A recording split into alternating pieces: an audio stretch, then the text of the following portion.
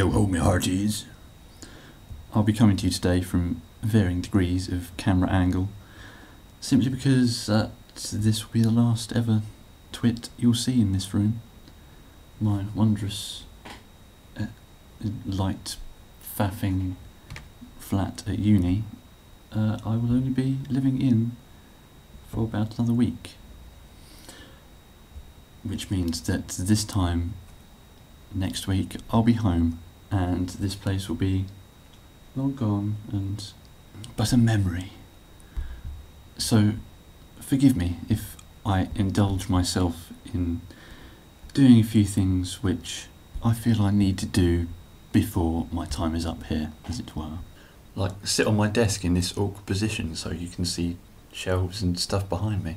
After last week's sizable haul of plastic of all shapes and sizes, this week is slightly more meagre, uh, but that's not really bothered me at all.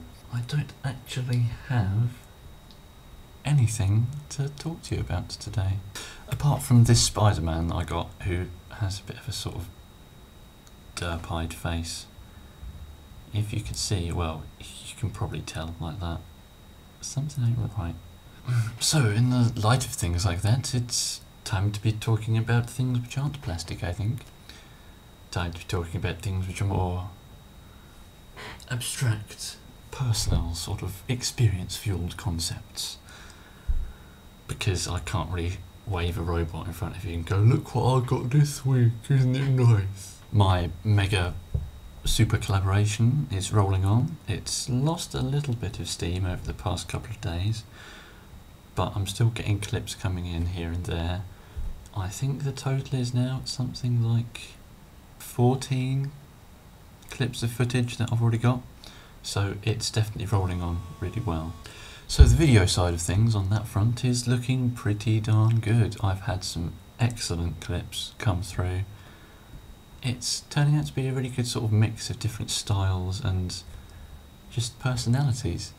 It's going to be really good and I, I hope that it will keep chugging along because the last thing I need for this is for it to just fall flat on its arse and everyone sort of forget about it. But with that said, I can do some sort of self-indulgent stuff that you probably won't want to listen to and just talk about what it means to have been in this room and how I feel about leaving it, I suppose. So when I came here, you can probably look up the this week in TFs that I did of the weekend I got here, and oh, man, I don't think I've ever been as miserable.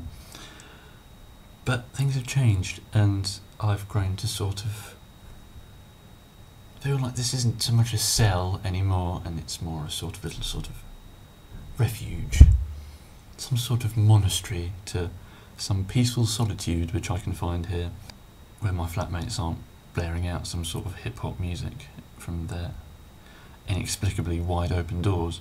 I realise that this is the first ever home I've made for myself, and sort of thought of leaving that and just going away and never being able to come back, there is uh, no way I will ever be able to set foot in this room again because someone else will be living here, just as I'm the other person who's living here after the person before me. This room will sort of collect a sort of succession of tenants and I can't really tell about anyone else before me, but I think a small part of myself is going to be left here simply because of the sort of emotional connections I've just built up with this little room and of course the amount of videos which will be left on my YouTube page that feature it. It certainly does feel odd. I mean, I haven't even lived here for a whole year, it's about seven months and it really doesn't feel like very long ago that I got here and hated the place and then sort of grew to like it a bit more and then got a bit bored of being here and now I'm sort of enjoying it because I'm realising I've got to make the most of the place and do everything I want to do so I can't regret not doing something. As such, there'll be a good few, well I say good few, it might not be a few, it might only be one, there's only really one figure I'm looking at to review anytime soon because of the fact that It's been here since September, and I brought it here with the intention of I will review you in the new room. Because in that sort of strange mystical past, I somehow thought that I would have nothing but free time to do reviews. So there will definitely be one, hopefully, a high class review churned out by me before I leave here. It's an odd feeling. I don't really know what to say this week. I'm just sort of sitting here trying to think of things which I have always been sort of thinking, yes, it's time to sort of say that in a video, but it's not coming to mind. And ting, that's something which I have been wanting to do. I have kept this can since September. You might have seen it in a previous video. And it's just something I wanted to make an in joke of because amongst my friends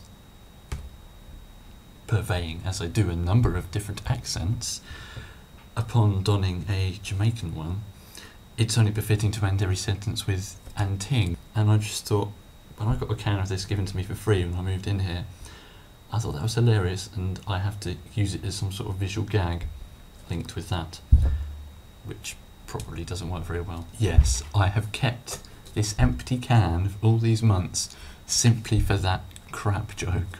Oh, you know, man, it wasn't that bad and thing. Oh. So I realise I've just been waffling this week, and it, it should be time to sort of say goodbye and I'll see you next week, but I don't want to, because once I've said that, that'll be it. You won't see anything else from this place again. Well, apart from the review, which I'll do. So maybe the best final thing to do is just to give you a little tour and show you my shelves and maybe show you the view out this window, which is constantly a bane to my lighting. There. Isn't that a great view? Mm. All you can see is another vile high rise. And a nice little sliver of horrid inclement sky. But aren't you glad I'm showing you? Sure you are. I think this is going to be something that's more for me than anyone else. No doubt I will forget this view.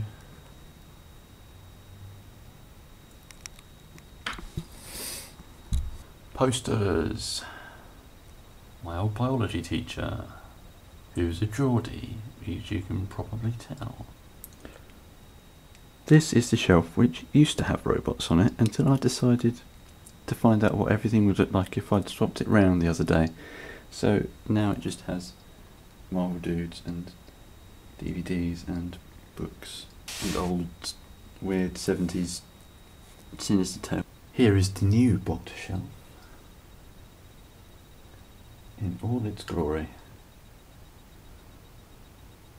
Ain't that a sight? And there is a view of my camera setup. Oh well, there you go. Just before I go, I want to say a quick thank you to all the people who've been subscribing to me over the past week or two. I haven't been able to say thank you personally because no one seems to enable comments on their channel page anymore. So uh, if there had been the little box I can write in, I would have said thank you. So if you're lucky in that respect, then I've already said thank you to you. But thank you to everyone. It, it all means something more, and it's it's nice to see I'm clocking up, getting closer to 140 subscribers now. That's sort of mind blowing. So thank you. But I would also like to take a moment to say thank you to all my previous subscribers, especially the ones who have made the times that I've spent here in this place that weren't quite as good a hell of a lot better by sending me things or things like that. Thank you, everyone. I suppose I'll be toddling on now and ting. Guess I'll see you around, chum.